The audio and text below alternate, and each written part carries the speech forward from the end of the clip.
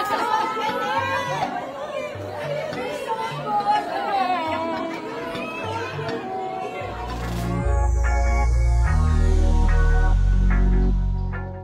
na proud nga itong sina Christine Hermosa at Oyo Boy Soto sa kanilang anak na si Andrea.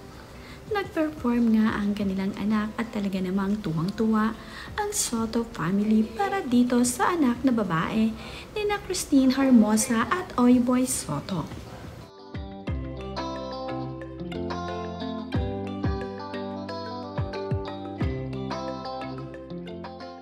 Portado naman nga ni na Danica Soto itong si Andrea Audrey kung kanilang tawagin. Talaga namang pinanood nila ang performance ng napakagaling niyang pamangkin. Nandito nga rin itong sina Pauline Luna at itong sina Shara Soto. Kasama naman ni Pauline Luna ang kanyang anak na si Tali na nagbigay pa ng bulaklak para dito kay Andrea.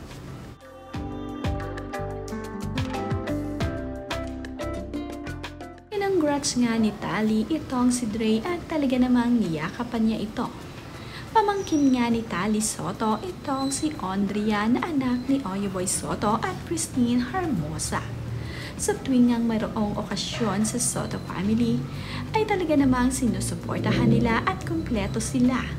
Masayang masaya ang mga ito para dito kay Andrea.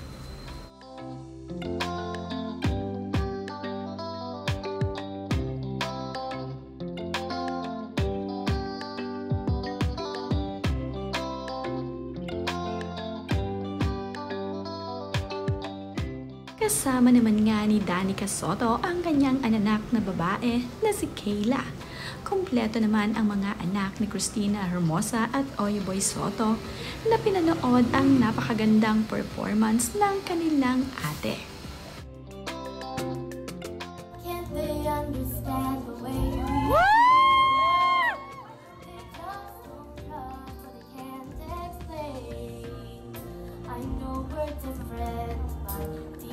さい。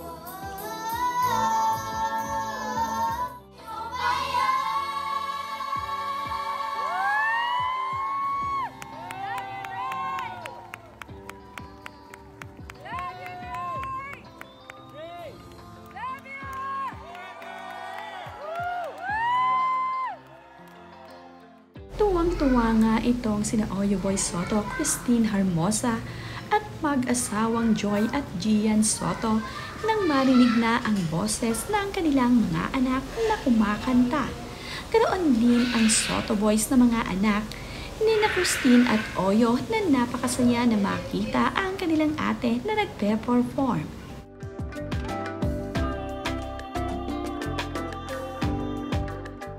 Ito naman ngang si Pauline Luna ay hindi rin nagpahuli at talaga namang pinanood ang napakagandang performance ni Andrea Soto at ng anak ni Gian at Joy Soto.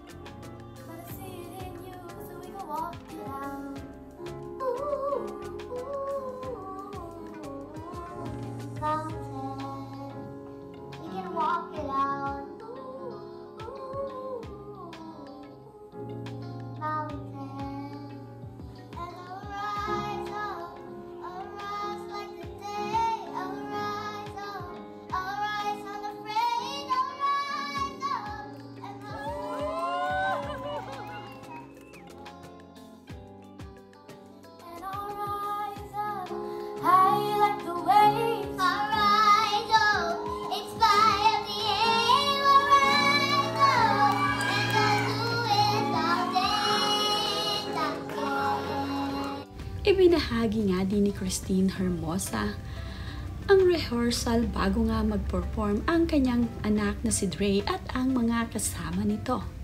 Nakakatuwa naman nga na talaga namang napaka-talented naman pala ng anak ni Oyo Boy Soto at ni Christine Hermosa.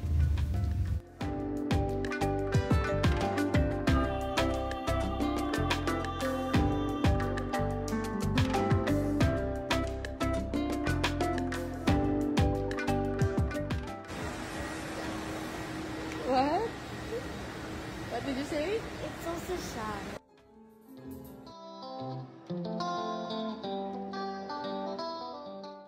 Tuwang-tuwa rin naman ang anak ni Oyo Soto na si Andrea sa kanyang naging performance. Kasama rin niya ang iba pang mga nag-perform at isa nga rin dito ay ang apo ni Tito Sen dito kay Gian at Joyce Soto. Magagaling din ang mga bata na nag-perform. Pero very proud talaga itong sina Oyo Boy Soto sa kanilang anak dahil hindi nga nila akalain na malakas pala ang loob ng kanilang anak na babae na si Andrea. Kaya naman, tuwang-tuwa ito sa pinakitang galing ng kanilang anak.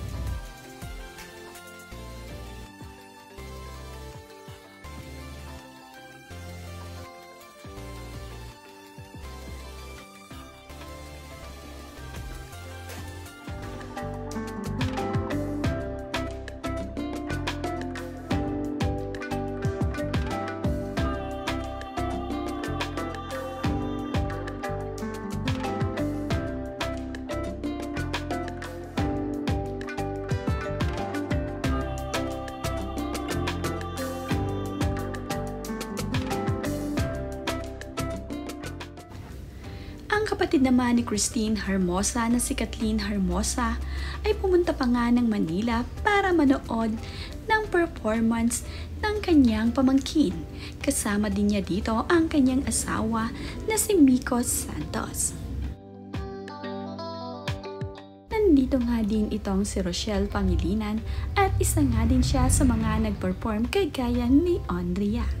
Nagpakuha pa nga ng litrato ang dalawang ito dahil matalik din naman na magkaibigan itong si Rochelle Pangilinan at ang pamilya Soto.